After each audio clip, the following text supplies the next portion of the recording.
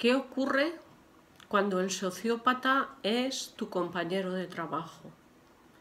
Porque hay muchas veces que a nuestra pareja la podemos dejar, la podemos abandonar, podemos hacer un cambio de vida y decir contigo no sigo más. Pero hay ciertas situaciones de las que no puedes escapar fácilmente, como puede ser tener un vecino sociópata o tu compañero de trabajo, y en el que sea difícil que tú puedas dejar ese trabajo. Si es fácil que tú puedes conseguir otro trabajo, no hay caso y además es lo que os aconsejaría.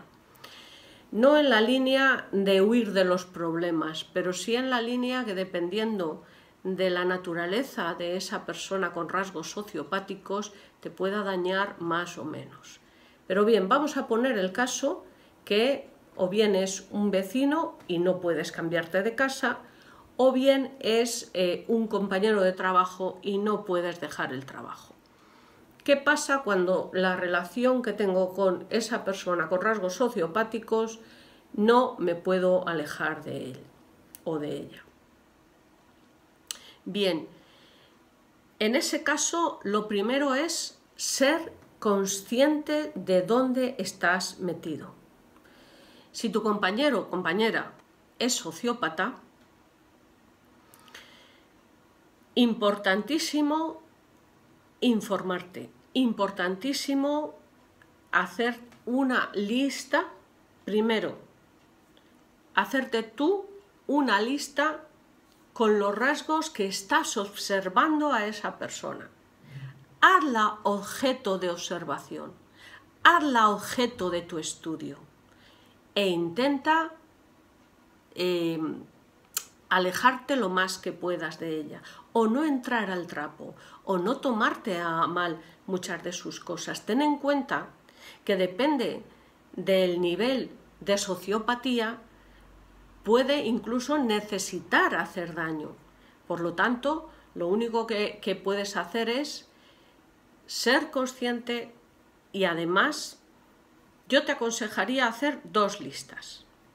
Una lista con tus observaciones y otra lista en la que puedas eh, corroborar con los rasgos sociopáticos que, que estudiosos, que psicólogos, psiquiatras, sociólogos han estudiado sobre el tema.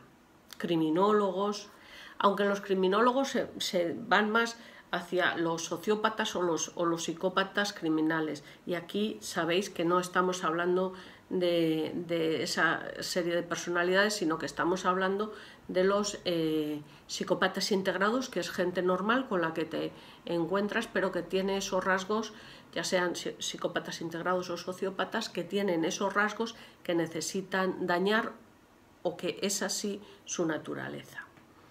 Bien, entonces, una vez que tienes esas dos listas, ve corroborando, ve corroborando.